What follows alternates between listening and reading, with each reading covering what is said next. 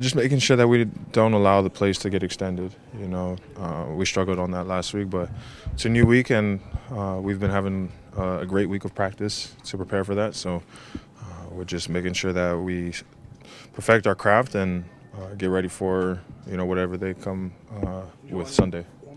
No, you're good. Oh, you mentioned the extended plays. Obviously, everybody kind of has a different style when that happens. What are the biggest differences you saw from Mahomes versus Russell Wilson when they five Um, they're they're very similar. You know, they're they're still looking uh, deep down the field to try and find a receiver, uh, but you know when when plays are extended, we just got to make sure that we latch on to the nearest receiver and um, and trust that our D line will make a play, whether it's uh, make make a sack or you know swarm and, and, and get uh, whoever's got the ball in their hands. What do you know about the Mile High? Have you played out in Denver? I have played out there. My I played there my rookie year. You know, it's fun. It's a really um, electrifying atmosphere. So I'm excited to uh, go out there and uh, play ball. Is there something to the altitude?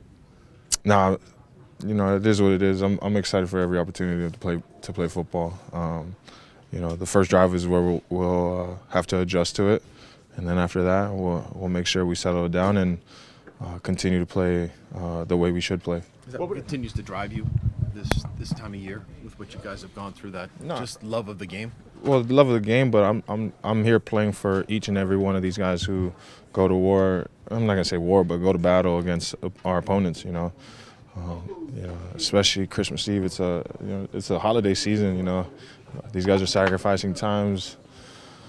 A lot of these guys have kids, so for them to sacrifice their time to be here, it means it means a lot to me, and um, and I know that you know of all places, uh, they they'd rather be with their kids and and you know uh, celebrate this uh, this time. But you know we got a job to do, and it'll be a great uh, gift to win. So uh, we're just uh, hopeful, and we, I know that we'll make sure to, to get the job done. What would it mean to ruin Christmas for Broncos fans? Uh, right now, I'm not. Right now, we're just thinking about making sure we do our jobs. You know, um, uh, like, you know that. I mean, of course, that's on our mind. But right now, we're at we're what is it Thursday? Um, we're at Thursday. We got a few days left, and then we'll f- we'll we'll, make, we'll handle that when it comes uh, to Sunday. Can look you, for uh, on the flight home? Shoot, I hope so. I'm gonna make sure my window on the uh, is open so I can see if he's on the way to my place to give me some gifts. But uh, no, it, it'd be fun. Can you name the reindeer for us?